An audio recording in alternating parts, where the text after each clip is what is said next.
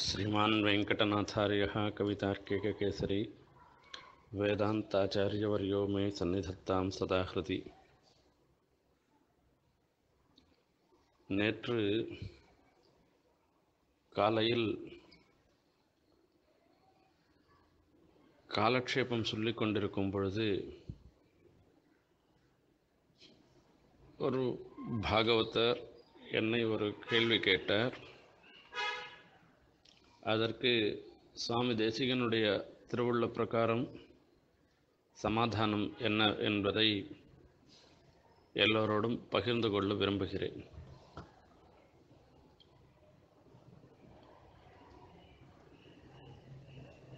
ஆராதனானாம் சர்வேஷாம் விஷ்ணோர் ஆராதனம் பரம் தஸ்மாத் பரதரம் புரோக்தம் ததீயாராதனம் பரம் என்பதாக பாத்மோத்தரத்திலே சொல்லப்பட்டுள்ளது.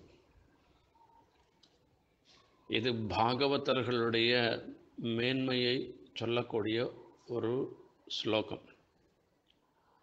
முதலில் பாகவதர்கள் யார் என்பதுதான் நாம் அறிந்து கொள்ள வேண்டிய விஷயம்.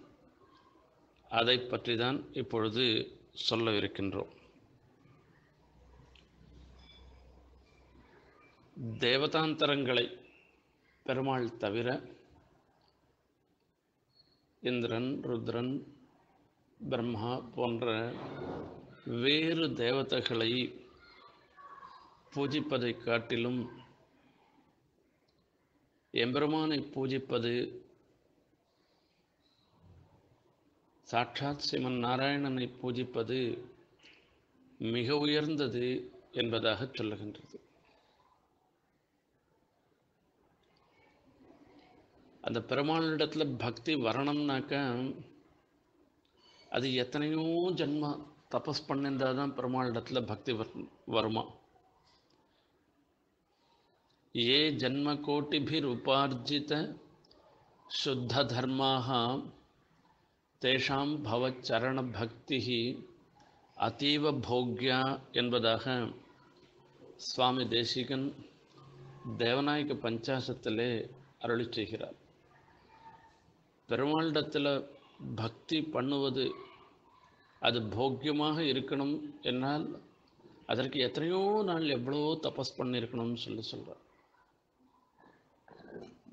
ஆகையால் எல்லா ஆராதனத்தை காட்டிலும் சாட்சாத் ஸ்ரீமன் நாராயணனை ஆராதனம் பண்ணுவது என்பது மிக உயர்ந்தது என்பதில் எந்த விதமான சந்தேகமும் இல்லை.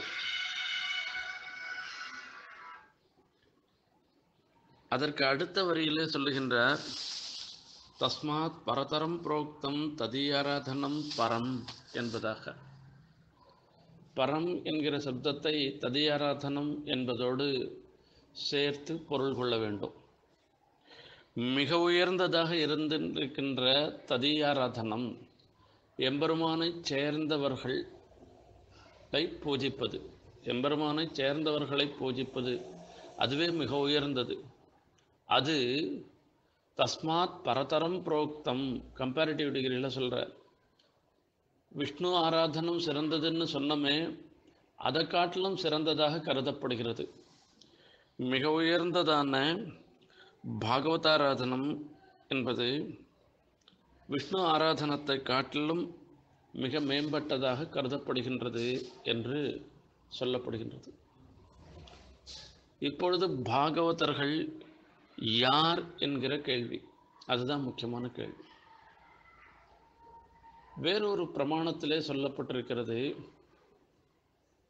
ஏகண்டலக்ன துளசி நளினாட்சமாலாக ஏ பாகுமூல பரிச்சின்ஹித சங்கச்சக்கராக ஏவாலலாட்டஃலகே லலிதோர்ಧ್ವಪುಂಡ್ರಾಹ கலிதோர்ಧ್வபுண்ட்ராக ते वैष्णवाः புவனமாசு பவித்ரயந்தி தோள்களிலே துளசி மாலை பத்மாட்ச மாலை இவைகளை போட்டுக்கொண்டு ஏ பாகுமூல பரிச்சின்னித சங்கச்சக்கராக பாகுமூலம் என்று சொல்லக்கூடிய தோள்களிலே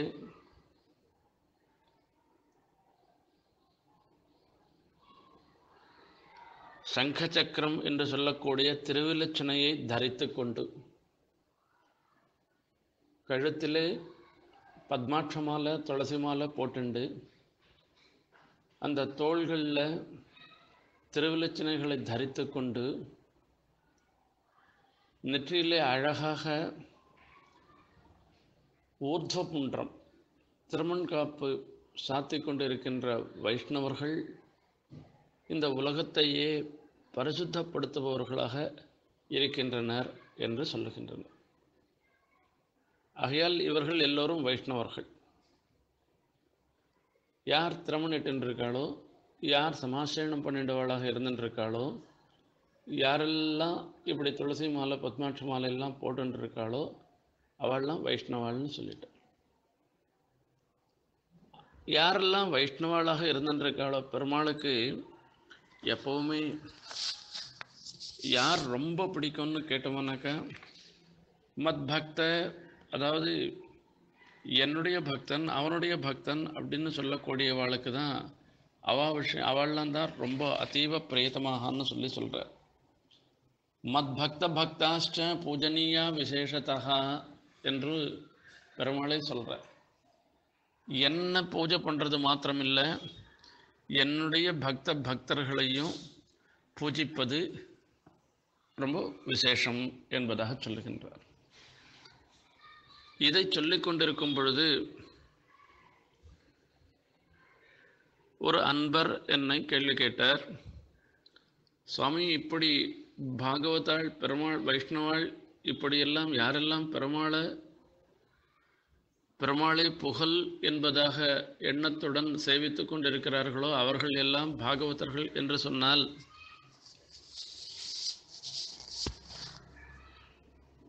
தற்காலத்திலே அப்படிப்பட்ட வைஷ்ணவர்களுக்குள்ளேயே ஒரு சில சம்பிரதாயத்தை சார்ந்தவர்களை வேறு சம்பிரதாயத்தை சார்ந்தவர்கள் இகழ்கின்றனர். இப்படி இகழ்ந்தால் அது பாகவதாபச்சாரமாக ஆகாதா என்று கேள்வி கேட்டார். இன்னும் வெளிப்படையாக சொல்ல வேண்டுமென்றால் தென்கலை வடகலை என்றெல்லாம் பாகுபாடு உள்ளது. இப்படிப்பட்ட பாகுபாடில் தென்கலையார்கள் வடகலையாரை இகழ்வதோ அல்லது வடகலையார்கள் தென்கலையாரை குறைத்து பேசுவதோ இப்படி செய்தோமானால் இது பாகவதாபச்சாரமாக ஆகாதா என்று ஒரு வினாவை எழுப்பினார். அவருடைய கேள்வி சரியான கேள்விதான். அதற்கு நாம் கண்டிப்பாக பதில் சொல்ல வேண்டியதுதான். இது பாகவதாபச்சாரத்தில் முடியுமா முடியாதா என்பதாக. சுவாமி தேசிகன் ரகசிய திரைசாரத்திலே புருஷார்த்த காஷ்டாதிகாரம் என்னும் அதிகாரத்திலே பாகவதர்களை பற்றி சொல்லுகின்றார். பாகவதற்கு கைங்கரியம் பண்ணுவதும் பாகவதர்கள் பெருமாளுக்கு மிகவும் பிரயத்தமானவர்கள் என்றெல்லாம் சொல்லுகின்றார். அதில் ஒரு பிரமாணத்தாலே குறிப்பிடுகின்றார். யாரெல்லாம் தமது பக்தர்கள் என்பதை? அனன்ய தேவதா பக்தாக ஏ மத் பக்தஜன பிரியாக மாமேவ சரணம் பிராப்தாக தே மத்பக்தாக பிரகீர்த்திதாக இது பாரதத்தில் சொல்லக்கூடிய சொல்லியிருக்கின்ற ஒரு பிரமாணம். இது பெருமாளே சொல்கிற வார்த்தை இது. யாரெல்லாம் என்னுடைய பக்தர்கள் என்பதை சொல்லுகின்றார் அனன்ய தேவதா பக்தாக.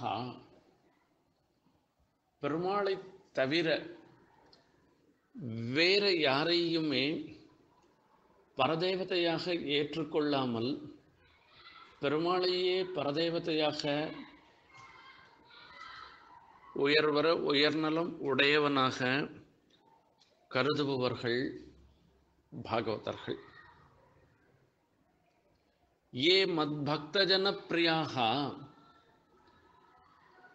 யாரெல்லாம் எம்பெருமானை மட்டும் பூஜிப்பவர்களாக இல்லாமல் எம்பெருமானுடைய அடியார்களாக இருப்பவர்களிடத்திலும் பக்தியுடன் விளங்குபவர்களாக இருக்கின்றனரோ அவர்களெல்லாம்